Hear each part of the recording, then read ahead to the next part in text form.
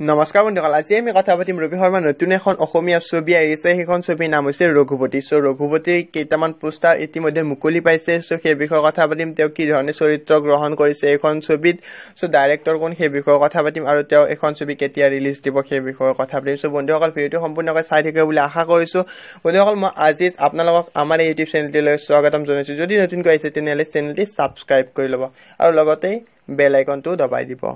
চ' বন্ধুসকল আপোনালোকক প্ৰথমে জনাই লওঁ যে এইখন ছবিৰ ডাইৰেক্টৰ হৈছে শুভৰাজ কাকতি। চ' বন্ধুসকল মই আপোনালোকক জনাওঁ যে এইখন ছবি বহুত ৰাইজে ভাল পাব কাৰণ তেওঁলোকে এতিয়ালৈকে যিখন পোষ্টাৰ মুকলি কৰিছে চ' ৰাইজৰ বহুত সঁহাৰি পাইছে।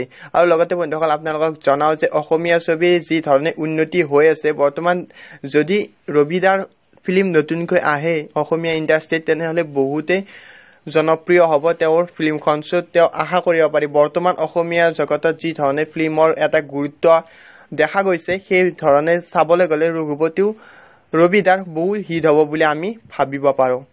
চ' বন্ধুসকল নিউজৰ আগতো তেওঁ কৈছে যে তেওঁৰ চিনেমাখন অতি শীঘ্ৰে আহি আছে ৰাইজৰ মাজলৈ। চ' বন্ধুসকল কেতিয়ালৈ আহে তেওঁ ফিক্স ডেট এতিয়ালৈ বৰ্তমান উল্লেখ কৰা নাই।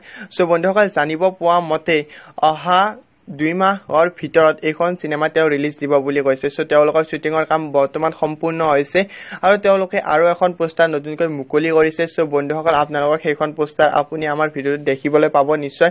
চ' আমি আপোনালোকক দেখুৱাই থকা ফটোকেইটা চ' তেওঁলোকৰ চিনেমাৰ পৰা আমি কালেক্ট কৰিছোঁ চ' বন্ধুসকল যদি আপোনালোকৰ এই ভিডিঅ'টো ভাল লাগিছে তেনেহ'লে ভিডিঅ'টো এটা লাইক কৰিব।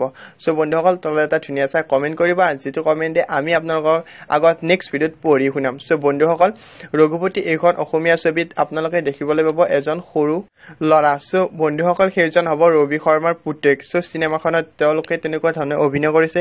চ' বন্ধুসকল আপোনালোকে আচৰিত হ'ব যে চিনেমাখন তেওঁলোকে বহু কষ্টৰে নিৰ্মাণ কৰি উলিয়াইছে।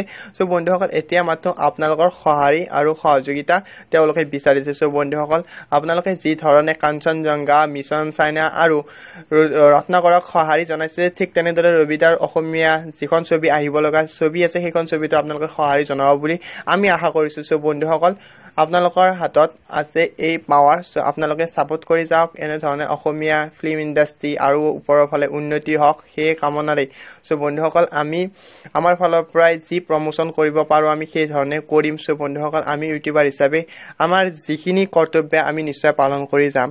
চ' বন্ধুসকল এইখন অসমীয়া ছবি আপোনালোকে চাই বহুত ভাল পাব বুলি আমি আশা কৰিছোঁ। কাৰণ ৰবিদাৰ বহুদিনৰ মূৰত সেইখন ছবি আহি আছে চ' তেওঁ ধুনীয়া তেওঁ যিখিনি কষ্ট কৰিব লাগে চ' গোটেইখিনি কষ্ট তেওঁ কৰিছে এই ৰঘুপতিখনত।